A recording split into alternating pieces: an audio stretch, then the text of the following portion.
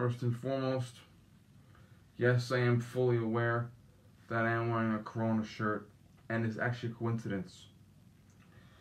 Um, and yes, see my pants there because I'm not wearing them, and my boxers, but you can only see me up to here, so no trouble. Okay. I believe that it is time to completely shut off China, period. Completely cancel them throughout the world. Cut off all trade, cut off all economics. Not just this country, but other countries too. And I think that we need to tell the um uh, the Olympic Committee that they need to ban China from attending the Olympics. And if they don't want to ban China from attending the Olympics, we need to boycott the Olympics. And I will justify that. Most communist countries, and you can look up Andre Chikatilo, the Citizen X serial killer in the Soviet Union. They completely refused to tell the public it was a serial killer loose. Most communist regimes will not tell the public about serial killers, viruses, diseases, okay, other disasters. You look at the HBO um, show Chernobyl, all the problems there. Because the Soviets, the Chinese, all the communist regimes, they want to have the illusion of perfection and utopia in the world. And they will deny a lot of shit. China did not properly close their airports. They did not properly screen people. They did not properly quarantine people when they realized this, this virus did exist. And we believe now that they may very well have been able to curtail about 90% of the impact of the virus if they just quarantined, closed airports, did, did what we're doing now. They did not. In addition to that, they actually arrested one of the doctors that blew the whistle about the virus and how bad it was going to get. And that doctor has now died from the virus. Did he die from the virus or is that what they want you to believe?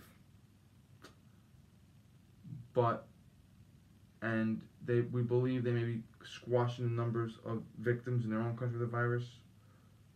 The virus has of as of now cost this country eight trillion dollars. I personally have lost twenty percent of my wealth. Plus I'm out of work for two weeks. Okay, yes, I'm going to get unemployment. Yes, I'm going to make up eight days out of the 13 in April and May. Because the eight vacation days I had in April and May are now gone. I have to work those days. But, and keep in mind that $8 trillion was a guesstimate before the country shut down for two weeks. So it'll be more than that.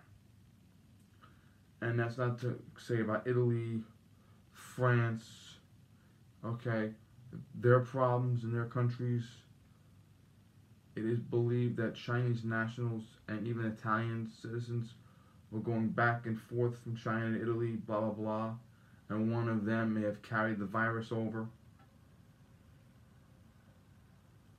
Because China did not properly screen, properly treat, yes. And Italy, it is now 1.37 in the morning in America. It's now later than that in Italy. So it is now Thursday. Yesterday was Wednesday. Yesterday's death toll in Italy was no less than 470 people. Okay, so lives are not going to be replaced. Our money will be replaced. The stock market will climb back up again. I will regain my wealth. But the lives that were lost are not going to come back. Now, we're going to get graphic now. Okay, this is your warning. a few months ago when the coronavirus first took place in Asia, there was a guy, Paul Joseph Watson, who's a couple months younger than me, in England. He's a very, very good guy. He's a conservative commentator. Follow Paul Joseph Watson. I'll put a link down below if I can. He was talking about the shit they eat in China. And they were eating, you've been warned, bat soup. Or they cut the meat up real nice and put it in. No, no, no. They literally had a fucking bowl of soup with a fucking bat sitting in it dead. And they're eating the bat's stomach. Okay? Yeah. We have um, experimentations where we, we experiment on rats, like you have medicine, give medicine to the rat. If the rat survives, give it to the monkey. If the monkey survives, give it to the human.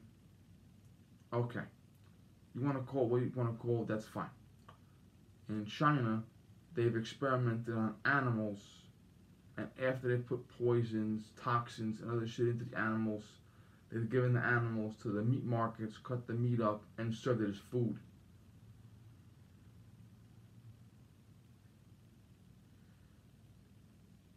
You've been warned. They've eaten animals alive. I saw a video of a guy took a rat, bit the rat's head off, alive. You've been warned. I saw a video that a friend of mine shared on Facebook. It was a mother feeding her toddler son a living frog. And because he had no teeth, he could not bite the head off the frog. And it went on for several minutes, and the mother kept giving it to him. Like it was you know, the, the kiddie pool, like you go in the backyard, that pool, and you fill it with water, and you put the little babies in there.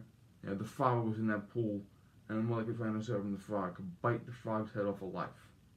The frog got away at the end of the video. They track it down and kill it later. I don't know. But okay, eating animals alive, eating animals that are unclean, eating animals that have been experimented on. Okay, that kind of behavior is what results in this shit, and it is disgusting. Okay, you gotta kill animals for food. Okay, kill the animal fast, process the food properly, and eat it. Okay, this is disgusting. It is also believed, and I, I believe this is true, that China deliberately made the virus hoping to tank the world's economy.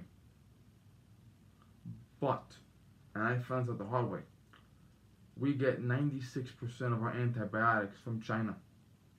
And China has recently threatened to cut off our supplies of antibiotics, hoping Americans will die.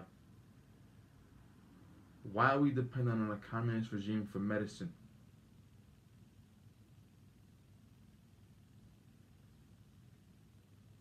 We used to get oil from the Middle East, like we had oil in this country, okay? And we leave the oil alone, pay through the nose to have oil imported from the Middle East, and we'll be holding to the Middle East. President Trump moves away from that. But why are we relying on a communist regime for our medications? Now,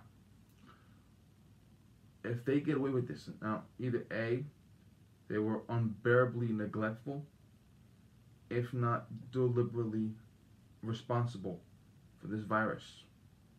If they get away with it, what's to say they won't start poisoning the medicine they sent here? Okay? You ever see the episode of The Simpsons? Yeah, old episode. Okay, where they predicted the coronavirus. Homer orders a juicer from China, and the guy coughs in the box. And when Homer opens the box in America, the germs come on him. And then Patty and Selma bought them from each other, and all of Springfield gets sick because this virus in China, the Chinese guys coughed in the box, and the virus went to the box. they predict the future a lot, don't they? Well, what if that would happen? What if China would have guys working in factories deliberately sick, like having guys that are sick and make them work sick, handling our sneakers, handling our socks, handling our underwear, okay, handling our our, our, our bed sheets, coughing on things, breathing on things, touching with unclean hands. Or there are toys that our children play with. What if they do it deliberately? Okay? They cannot get rid of this, my friends. This must not be tolerated, period. Okay, this is warfare. Okay, rather than invade our country, they do this. And they're costing us more money than if we actually went to actual combat war, a full-fledged engagement. Okay. Globally, they killed they killed a lot of people globally. They didn't kill a lot of guys in this country, but if you look globally, this virus killed a lot of guys. Why is this tolerated, my friends? This should not be tolerated. Period. End of story. Okay? So I'm calling for the Olympics to ban China. If not, I'm calling for us to boycott the Olympics. Period. Thank you.